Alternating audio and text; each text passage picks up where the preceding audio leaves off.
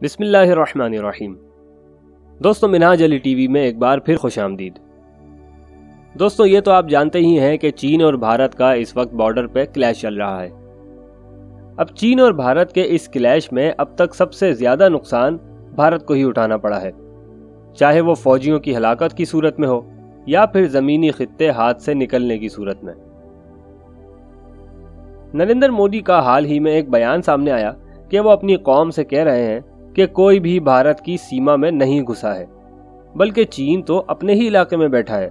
यानी यूँ समझिए कि चीन जहाँ आकर बैठ जाए, वो उसी का इलाका है। बहरहाल, नरेंद्र मोदी के बयान आने के एक या दो दिन बाद ही बीबीसी ने मैक्सार की तरफ़ से जारी करदा, ताज़ा तरीन सैटेलाइट तस्वीर जारी कर दी, जिन्होंने तमाम सच सामने लाकर रख दिया।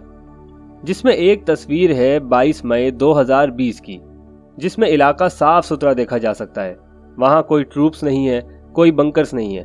और दूसरी तस्वीर है 22 जून 2020 की, जिसमें चीन की बनाई हुई छावनियाँ और बंकर साफ़ देखे जा सकते हैं, जिसका साफ़ मतलब है गलवान वैली में चीन का कब्जा।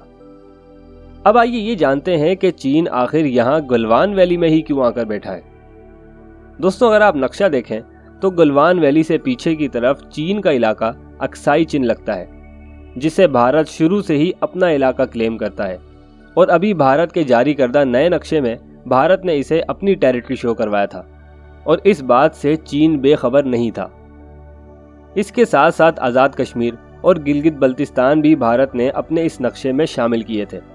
बहरहाल, जिस जगह इस वक्त चीन आकर बैठ गया है, इस जगह से इसे खुद और पाकिस्तान दोनों को एक जैसा फ़ायदा है। चीन को यह फ़ायदा है कि गुलवान से अब अक्साई चीन की हिफाजत यकीनी हो गई है। और पाकिस्तान को यह फ़ायदा है कि यही गलवान का रास्ता सियाचिन को जाता है।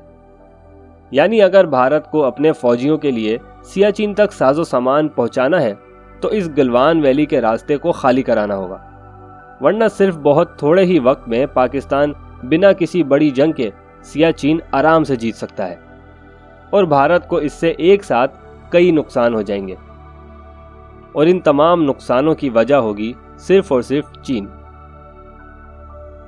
अगर आपको इस स्टोरी के बारे में और डीपली जानना है तो इंडिया के एक सबक आर्मी ऑफिसर और मौजूदा सीनियर तजियाकार अजय शुक्ला के इस ब्लॉग को ज़रूर पढ़िएगा। दोस्तों, उम्मीद करता हूँ कि ये वीडियो आपको पसंद आई होगी। अगर वीडियो पसंद आई तो इसे लाइक ज़रूर कीजिएगा। अपनी फीडबैक हमें कमेंट्स करके बताइए। मैं मिलूँगा आपसे अगली एक और इंटरेस्टिंग वीडियो में। जब तक के लिए अपना बहुत ख्याल रखिएगा।